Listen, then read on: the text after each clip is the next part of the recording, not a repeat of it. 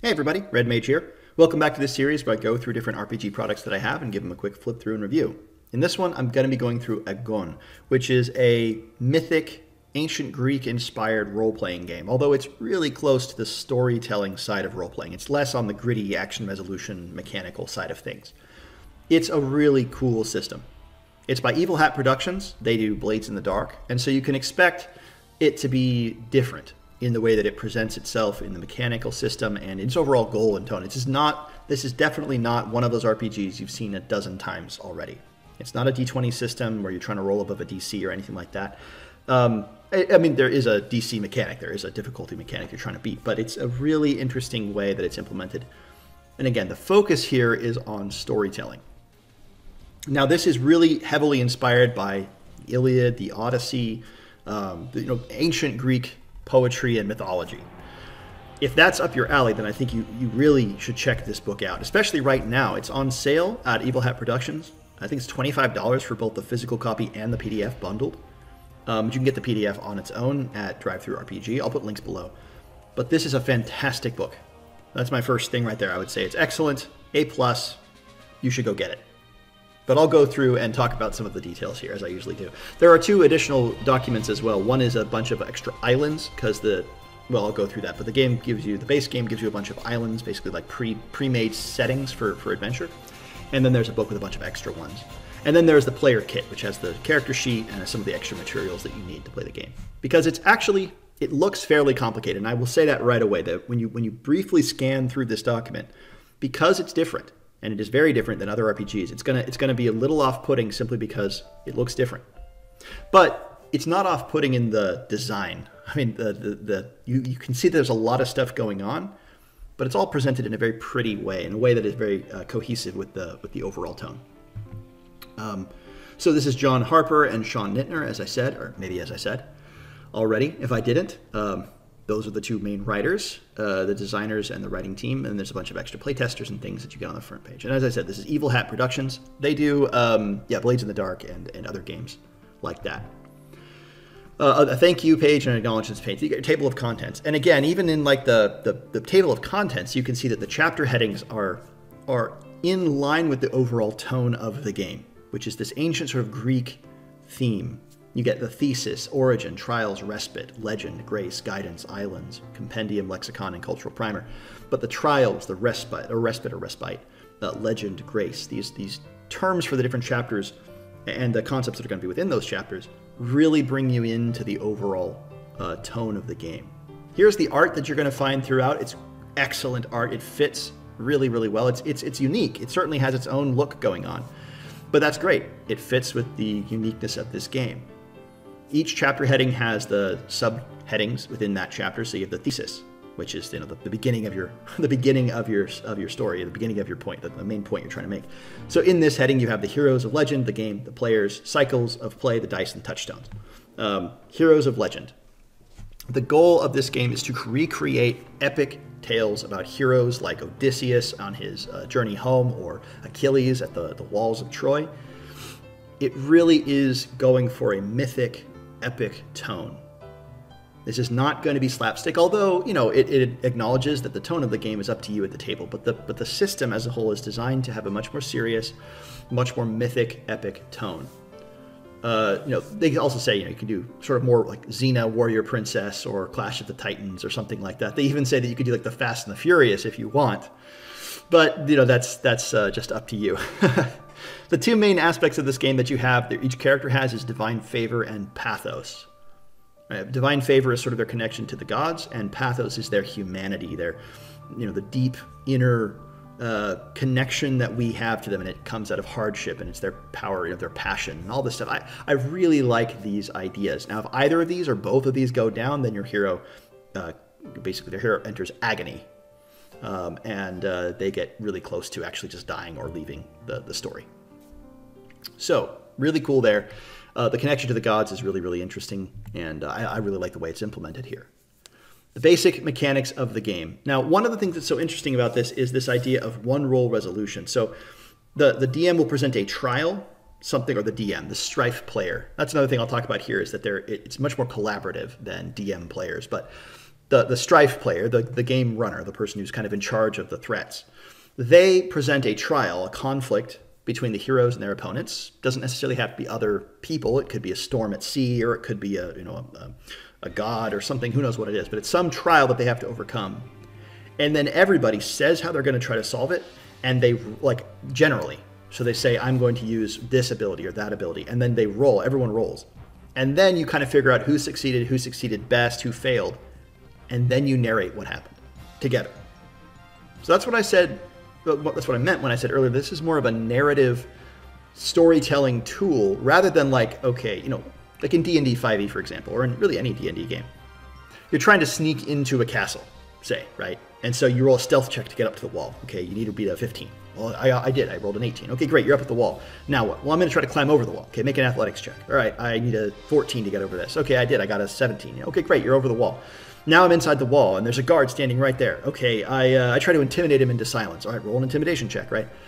Like you, you, you make resolutions for each bit as you're going through the overall trial, the overall aspect of this of this uh, you know the overall test here. You, you roll for each section, and so you can succeed or fail at little parts.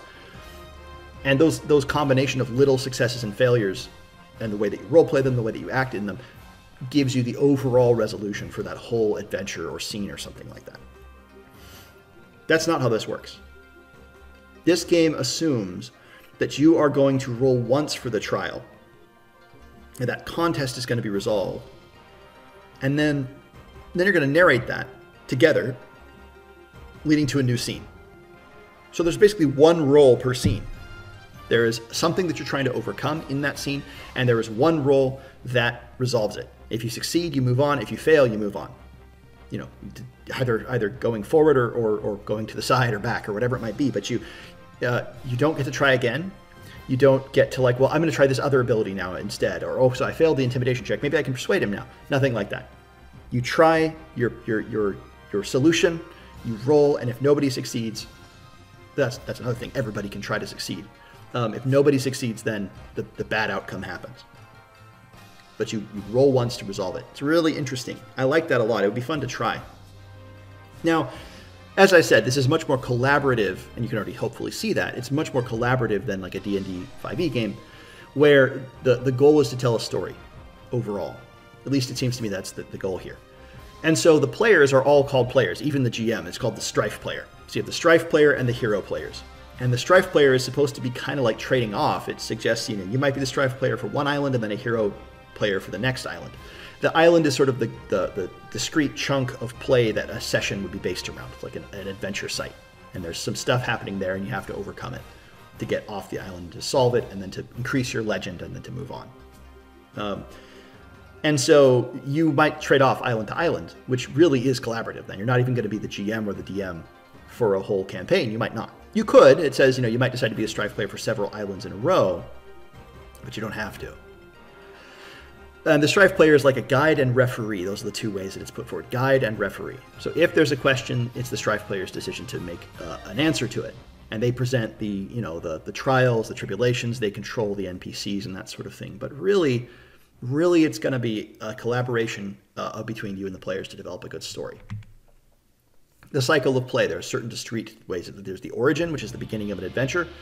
You make your characters, you give them epithets, names, and, and traits. They establish bonds, and then you pick a leader. They're basically a, a tiebreaker for the people's decisions, and then they have a couple mechanical effects. But it's mostly just you're the leader for, you know, uh, in, in case you, you can't agree or something like that. The leader gets to decide. Then you have trials, and they say each one is like the, uh, the sort of scene that you're trying to get through. After you do those trials, there's a mechanical benefit for succeeding at them and eventually you get to the final battle. And depending on how well you've succeeded or failed at the trials up to that point, the final battle will be easier or harder. And and and the outcomes of it will be determined by your successes. So whether or not you totally defeat the enemy or you defeat the enemy in a minor way, whatever it might be, that will be determined by that final battle and by your choices leading up to it. And then finally, after you do that, you go through a period of respite or respite a respite, how I say it. You leave the island, you record your great deeds, you get some virtue points, which is basically how how amazing were you in these different ways, and and the players, the other players, decide that. which is really cool. We'll talk about that in a bit. And then you sacrifice to the gods. You choose a leader for the new group. You recover any pathos that you've lost, um, and then you start a new adventure. And at the very end of that cycle, either you, you meet your fate, which is you die, or you lose all your pathos and divine favor, and you, you leave the story, or you come home, which is the final, the, homecoming, which is the final adventure. Then you record your, your name, you go through the whole thing, you, you forge your legend, and you're done. So you can very much see this is about creating these epic heroes who have done these cool things, telling their story over a period of time, and then then you end, and you can play a new one or whatever you might want. But that, that's their story. So it's very much right, very much like the Odyssey. I think is a good example there. And actually, that's sort of the overall idea here: is that you're heroes who have just come from a great war, and you're trying to get home. That's the the assumed scenario for the game, which, which is the Odyssey, right? He's the Trojan War for 10 years. Odysseus has, he's trying to get home to Ithaca, spends 10 years trying to get back, and has these various adventures and trials, and, and becomes a, a better man in this way, and loses his sense of, uh, you know, uh, selfishness in that way, and just becomes a great hero over that time. Here are the dice that you need to play the game. It's D4s, 6s, 8s, 10s, and 12s, no D20. And then touchstones. You know, uh, to get a feel for the game. And there's Xena, Warrior Princess, The Iliad and the Odyssey, Song of Achilles and Circe, Clash of the Titans, Jason and the Argonauts, Wonder Woman, Seventh Voyage of Sinbad, the Sinbad books, or movies, I should say. The Fast and the Furious. Now, I haven't seen The Fast and the Furious, so uh, I don't know why this is in amongst those. I'm sure there's a reason. I'm sure it's probably like it has to do with, you know, epic heroes telling these stories or something like that, like larger than life figures. I don't know exactly why, but I assume there's a good connection there. And then Apotheon, Assassin's Creed Odyssey, and Hades. So those are the influences and the things that you would have to be familiar with and to enjoy in order to really get into this game. I love all of those. Jason and the Argonauts, the movie by Don Chaffee, was like my movie growing up. I loved that movie. Uh, so, yeah, absolutely. Okay, the origin, creating a hero. To create a hero, you create an epithet. It's the first thing you do, and you know, perfect in if you've read the Iliad or the Odyssey, you'll know you're talking about you know lithe-limbed or silver-tongued or iron-minded or far-sighted. Uh, you know these these these great epithets that stick with your character that call them to mind, you pick one. And you get a die that begins at a d6 for that epithet. And basically, whenever your epithet would apply to a particular task you're trying to do, you can add that d6 in to the pool. So it's, it's a dice pool game, so you're rolling a bunch of dice and you're picking a couple of them to use. You're trying to get above a certain number. And so the more dice you get to roll, the better chances are you'll roll high, and that's good. So you want more dice. And so the ability to add your epithet die in is good. So you pick one that will be useful at times. You're not always going to get to use it, but you, you're going to want to use as much as you can. Then you get your name, right? The, the, the, the, name of your hero. This is something that you're always going to get to roll, basically. This is how glorious you are, how famous you are.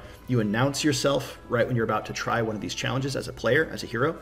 And that's something right out of the Iliad, right? I mean, people don't fight in the Iliad before they first figure out who the other is, or very often, you know, I Achilles will kill you, Hector. You know, like you know, because you killed my friend Patroclus. Like there's a a, sort of a who's who is important in the facing down a challenge. Um, in the Odyssey, when he's about to flee from the Cyclops, he can't help but tell him his real name because he's trying to grow his glory, right? Um, instead of saying that he's Nemo, no one, right? He says, I'm Odysseus. And of course, that causes tons of trouble for him later. It's great. And you have your lineage. This is your significant ancestor or, or parent, your scion, your origin. You can choose to have a god, um, and that does have some effects. So you can have your you can be a demigod, right? The the, the uh, you're, you're, the descendant of, of, Aphrodite or of Zeus. Um, you can choose. And then there are four domains, and uh, you choose a favored domain that fits with your lineage. And those domains are arts and oration, blood and valor, craft and reason, and resolve and spirit. Those are the different ways that you solve things. So you choose which of those you're going to use to approach a problem. I'm going to use arts and oration, blood and valor, craft and reason, or resolve and spirit. And you have to sort of explain how it works. So again, it's not necessarily like, okay, the DM doesn't say, or the, the Strife player doesn't say, okay, make an arts and oration check. Rather, here is the challenge. You know, a great serpent has surrounded the island and has bewitched the priests of the island through its hypnotic gaze, and now they are, you know, sacrificing the people to it instead of to the gods. How are you going to solve this? Here is your first challenge, you know, sailing past the coils of the snake onto the island. You might say, well, I'm going to use I'm going to use my craft and reason. I'm going to try to, you know, uh, look for the moment when uh, when the snake's coils open a bit and I'm going to be so observant, you know, I'll go for that or something like that. Or I'm going to hack at the snake's coil so that it writhes and we can sail through when it's, uh, you know, you have to describe what you're doing to solve the problem. But you can describe whatever you want. You can try whatever you want in that regard. Um, you begin with marks of divine favor. Basically, you can call upon the gods to help you in certain circumstances. Here are the gods and their uh, different domains and cool little um, you know, constellations that are associated with them. I think that's really cool. Aphrodite, uh, Apollo, Artemis, Athena, Ares, Demeter. Now, one of the things that's interesting about this is that the gods are from Greek mythology, but the islands that are presented are just totally made up, as far as I can tell. So, you know, if you wanted to, you could you could draw on your knowledge of Greek and of the Greek islands and the Greek mythology to use real islands from the Aegean and the Mediterranean. But this game sort of just assumes that you're going to be making up your own. So it has a whole bunch of made up islands. Uh, here is the style of your character, what they look like, uh, the bonds that your character has, and you, you form them with each other, and you use them as the game goes on. You can use your bonds to protect you and the other person in, in if they fail, if they're about to be harmed. You can use your bonds for other things. You can give each other uh, extra dice in certain times, and so the bonds are useful in that regard. But you form them uh, as you make your character, and then as you proceed through, you form bonds at the end of every adventure.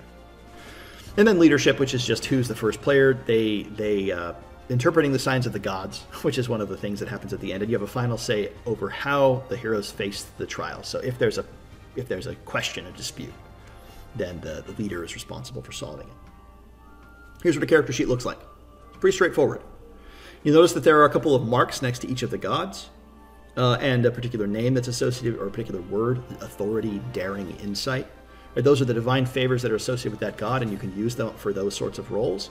You can spend those divine favors if you have it. That's really cool. Trials and contests. So this is the sort of the main action of the game, which is the contest uh, of the game. So first you face your opponent. You usually act as a single team, but sometimes you split up. Sometimes you might face an opponent alone. This procedure is the same in any case. So anyone can call for a contest. But the Strife player has the responsibility to be vigilant and identify when the heroes come into conflict. So the, the heroes could say, I want to challenge this. But it's the Strife player's job to say, okay, now this is a conflict. Oh, now you guys have entered a conflict and all that stuff. The heroes confer with each other, then they declare their opposition by stating their approach and their goal. Now, obviously, you're going to be role playing in between this. It's not simply like, a bunch of moments that you just roll dice for and then narrate, you're going to be role playing in between this. But at these key moments, this is a very structured game. At these key moments, then, okay, now we're entering a contest. How are you guys going to do it? What's the goal here? How are you going to try to overcome the uh, the Strife player's action? Because the Strife player does something too. So here's the exact action that they say below on the right page, the example. At the funeral feast, Ma'ariki, Ma'ariki Marika, Marika, there we go. I don't know what I was saying. Marika shouts, Let us sing laments for the fallen and bear our hearts one to the other. The heroes want to show the king that they care more about the deaths, the prince's death than the queen does. Sounds like a contest of arts and oration against Queen Naya. Okay. Or below that, the monstrous serpent of Nemos emerges from the shadows of the cave sanctum of the serpent cult, lured by a thrashing victim bound to their profane altar.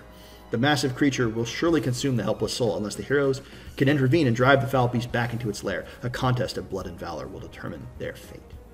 So the strife player determines what the contest is in these particular cases. Sometimes the heroes can say what their approach is, which domain they want to use. Sometimes the the uh, strife player says this is the kind of contest you're facing based on your choices, based on what's happening. This is the kind of domain. And it says the choice of domain depends upon the details of the situation and the actions of the characters involved. If the heroes initiate the action, focus on their approach and goals when choosing the domain. If the heroes resist an opponent, the domain should reflect the opponent's action. That's pretty cool. Then you have this dice pool system where essentially you use epithets and names for the creature, um, and then any bonus dice they might have for circumstances there, if they have advantages or if the gods are angry with the person, then they can uh, add in challenging dice, and so then the the opponent, the strife player, rolls you take the highest value and then you add the strife level, which is usually five, but it can be four or six depending on if you know there's less strife here or more strife here on this island. And that's the DC the players are trying to hit for that particular test. So the strife player rolls it first. They use the name of the creature, the epithet of the creature, or this challenge, whatever it is. And then any bonus dice again, advantage dice or uh, wrath dice. And then the Strife player says, Who among you will face the contest? I think that's great. And then the players speak their names. They can mark Pathos to add a die from the second domain, so you can add a domain dice in. If your epithet applies, you add a domain die um, for the contest that you have. So, you know, if it's arts and oration, you use that die. Uh, and you're going to have different uh, levels of dice for the different ones. When you make your character, some of them will be d6s, most one will be a d8. So you're better at one thing than others, but you have the ability to use any of them. You can call in Divine Favor, get an extra d4, and spend some resources. You can spend a bond to get more dice. And if you have advantage for whatever reason, you can get basically you can use items or artifacts or previous successes to give you some extra dice. I like these little um, tables or these little images on the pages. It shows you all the dice you're going to roll and then what the result will be. So you're going to roll your name dice and your domain dice for sure. If your epithet die applies, you're going to add that in. If you have a bond, you can add that in. If you spend pathos, you can add in a second domain. If you have advantage for some reason, you can add that in. And then if you have divine favor, you can spend that to add it in. And then you roll all of those dice together and you sum the two highest and you add in divine favor. And that's your result. And you're trying to beat what the strife player rolled on their previous roll. That's it. That's how this works. And then the outcome is if you're equal to or greater, your hero prevails. And then whoever succeeded the best gets the best result, and everyone else uh, just gets a sum result. And then if you fail, then your hero suffers. And usually there's something that goes along with failing. There's a hardship that comes about from failing, which the strife player determines. And if all the heroes suffer, then the opponent wins. So if everybody fails, then the opponent wins. And then afterwards, you recite your deeds. You say what you did and it goes in a certain order. The person who failed has to describe first. The person who succeeded but not didn't succeed the best have to go and has to go next, and the person who succeeded best gets to describe their action of how they actually won. You get rewards. You should get a certain amount of glory, and glory is basically how you level up your character. It's experience points in a way. Uh, it's how your name guy name die gets bigger. And then you can use support. If you want to sit it out, you can help somebody, give them a little bonus. You get a little glory, you get a little bond, uh, and you just don't fight. And the other person gets the glory there. They, they do the main thing. If you fail, you get harm, and you cannot try again unless the circumstances have changed. Battles are a particular kind of trial. Um, once you've won all the contests, you can actually fight the final battle. And then there are three phases. There's a clash, there's the threat, and then there's the finale. So the clash is where you just determine what's going on. Uh, if you win the clash, uh, the players choose how they want to approach the clash. And whoever wins it gets a d10 advantage die, which they may use during the battle. So if you succeed at the clash, you get an extra advantage for the actual threat, coming together to fight. Then there's the threat and the disasters that are happening. The strife player says what's going on, and the players can choose to either try to deal with the threats or to fight the thing itself. And so uh, the example is really cool. Um, Thessakyra invokes the power of the Pillar of Storms and summons a lightning bolt to sink the hero's ships. Her pirates corner Ionestes, priest of Hera, and force him overboard to drown in the storming sea. Hagni's player rolls craft and reason to steer the ship away from the lightning and avoid that disaster. Marika's player rolls blood and valor to defend Ionestes from the pirates. So they both decided to deal with the bad effects happening. Each hero who prevails may stop one disaster from happening, and they say there's usually two or three disasters for any particular threat phase. Or you can choose to ignore the disasters and let the consequences of those disasters happen or hope that your companions deal with them. And you can try to go for the threat itself, to seize control.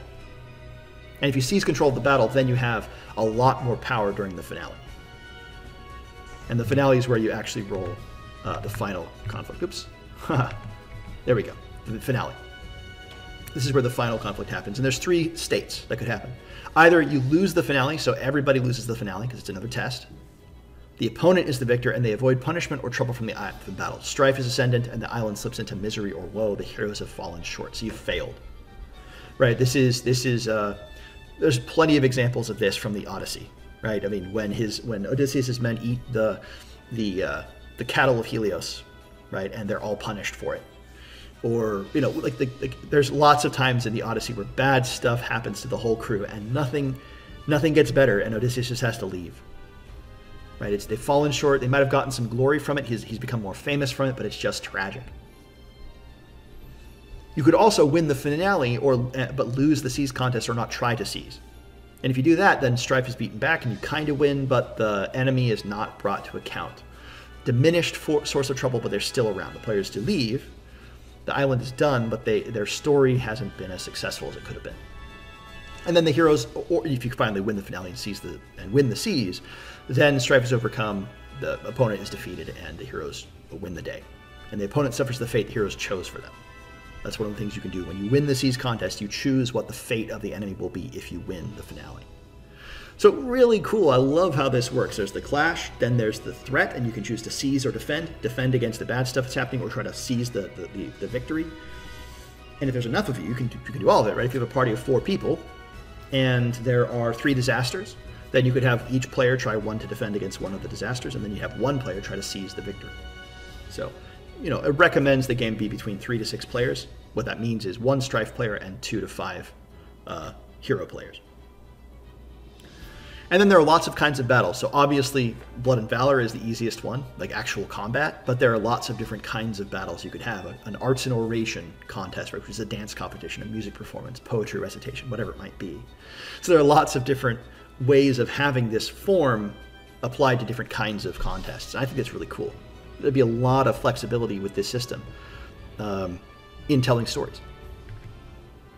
Respite, this is the inter-game period, inter-challenge period. You have the Exodus, which is where you leave the island, you figure out the destiny of the island, the Strife player tells you what happens there, and you mark it all down in your book. Then there's a Great Deed, which each player chooses something that they've done.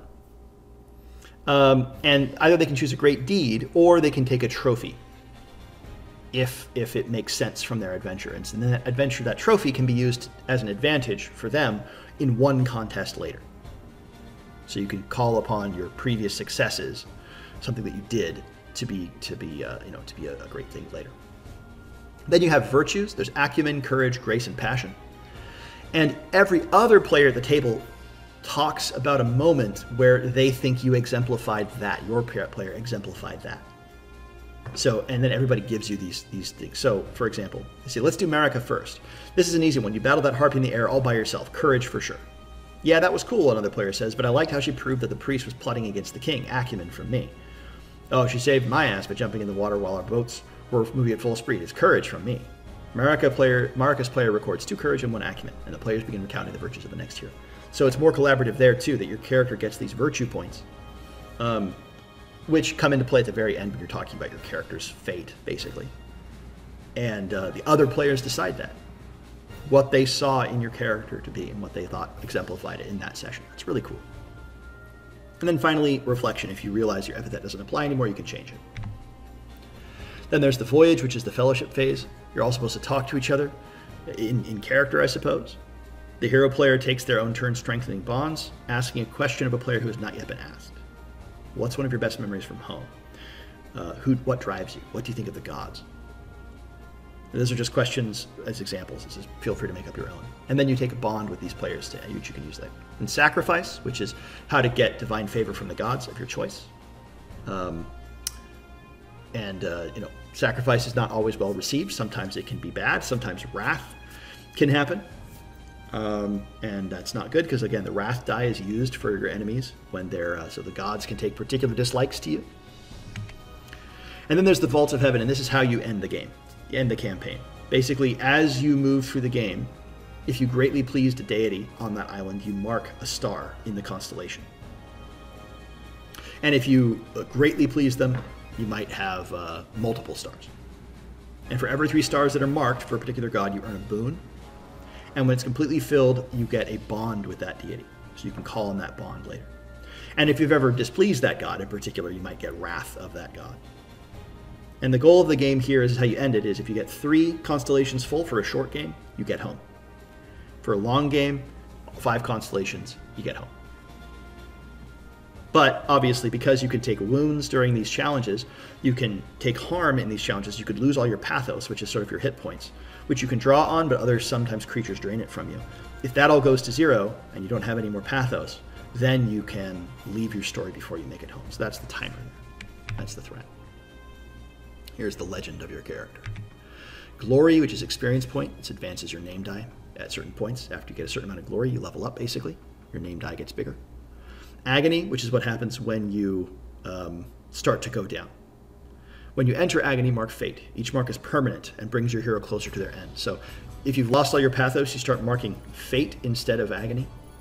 And fate kills you off. It doesn't go away. Agony goes away after a Pathos comes back after every fight. Agony goes away, but fate does not go away.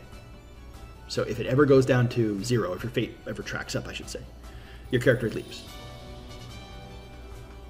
um, and that's it. And they can either die or they can, if the story makes sense and something like that. So as their fate increases, however, and they make progress towards home, there are some benchmarks. Um, you advance domain dice, you can add your epithet, dice, you can give your benefits to bolstering. So there's a little bit of character development in terms of your mechanical ability, but there's not a lot in this game. That's not what this is for. How the game ends, you get your legend. Once you finish, you get a legendary title depending on which of your uh, virtues were highest. You can pick a title. You have to say what your greatest deed was, and you look at the Vault of Heaven. Did you appease the gods, or did you not? When your fate finally runs out, when it finally have you have you filled out three to five constellations, three or five constellations. If so, you get to go home. If not, what happened to you? And you get a, a glorious name, depending on how high your name die is. If you're a D6, it's a notable character. If it's D12, it's an epic hero.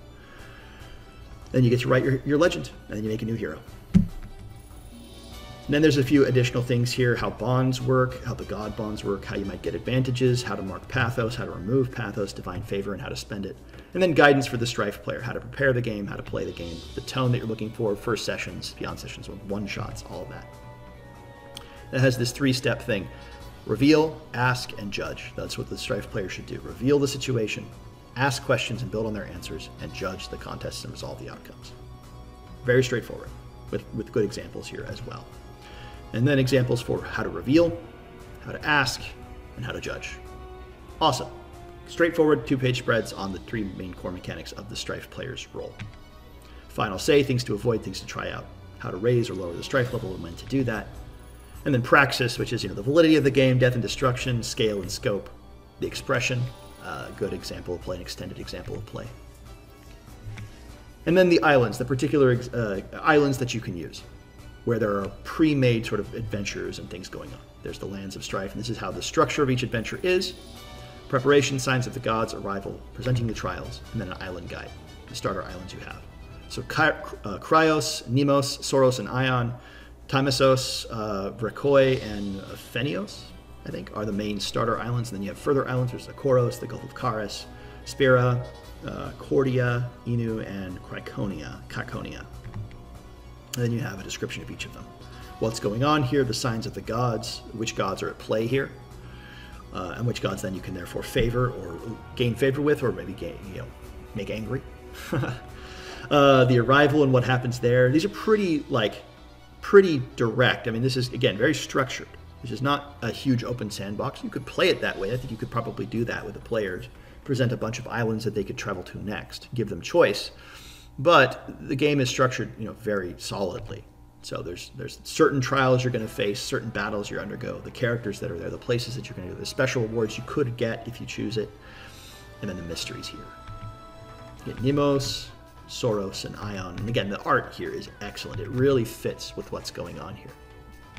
Very reminiscent of the old Greek, um, you know, pot art and things like that but obviously in its own style. It's not just like, you know, recreations of that. Really cool images here. Really cool pieces of art. Caconia, it's a beautiful piece. I love that. The rules for creating an island uh, and creating characters. Uh, some, some, very few sample tables. A D12 table for environs, people, events, and unearthly things. A compendium, brief uh, names, style, epithets, hero creation. Contest summaries and how that works, a battle summary and how that works, a lexicon, very useful. And then a cultural primer with Agon and identity, Greek mythology, swords and sandals if you're an expert, and what you should do and how good ways to express your knowledge, bad ways to express your knowledge if you don't know as much, stereotypes. Um, yeah, uh, it's pretty reasonable to me. Beyond Greece, if you wanted to do this in other cultures, Afghanistan, Pakistan, the Greco Indian kingdoms, um, if you wanted to be more like that as opposed to more Greek, can, there's an example given to you here, but you can do your own. And then an index at the back of the book with the character sheet. Here's what the character sheet looks like. Really cool. Um, I think that's really, really awesome. It looks different than a lot of character sheets out there. Here's your Vault of Heaven sheet with a brief description of contests, harms, bonds, supports. This would be a great thing to give to your players. And a little piece of the at the end. So that is Agon. Really, really cool.